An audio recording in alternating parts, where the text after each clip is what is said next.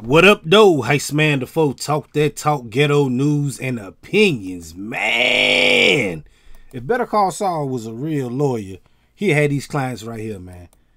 Young Thug and Gunna. Y'all don't know who Young Thug is. He the dude with his dress right here.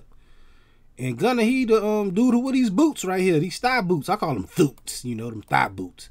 You know, they look like they came off a living color, both of them, man. But they ain't what we talking about right now, man. They got arrested because they was on some mafia type stuff, man. I'm talking about they literally put a hit out on this dude right here, man. His name YFN Lucci. He is currently locked up behind bars right now, man. But yesterday they got raided. Um, what's my man name? Young Thug. He got um they got him on RICO charges and all this stuff, man. Like all kind of gang activity. Right now he's looking at 500 years. I think Gunna looking at 150 years. I mean, by the looks of you know, the stuff they be wearing, they might just throw the soap, man, you know. I don't think they scared to go to jail. Like they gonna be in there be like, look, take the soap, cuz, and throw it. That's just me personally, man, by the way they dress. But that's the news right now. Young Thug, Gunna. They have some um they got some thug names, Thug and Gunna.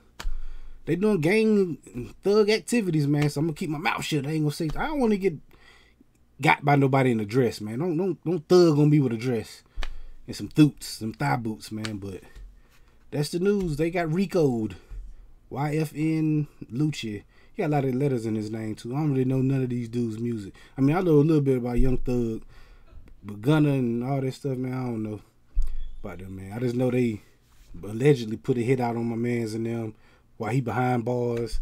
There's some rapper beef stuff, man. You know how I go down, man. More development's gonna come out though. But I'm saying that's that's a lot of years, man. Like, and you're a top rapper like that, uh, Young Thug, to be still involved in the streets and streets activities and what y'all YSL, that's the name of y'all group and all that stuff. I don't know these letters, man. Anyway, we definitely gonna be talking about this Friday right here on this channel because I go live every Friday talking about stuff just like this. You just gotta come through and holler at me, man. Hit that like button, the comment button, the share button, the subscribe button, the notification bell. All them good buttons you got to hit to get this pimper that I'm putting out when I put it out. And like I said, I go live every Friday at 9 p.m. Come through, join the conversation. Tell me what you feel about this.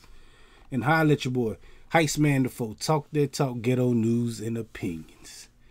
P. Hold on, let me see them boots again. Ah! Boots.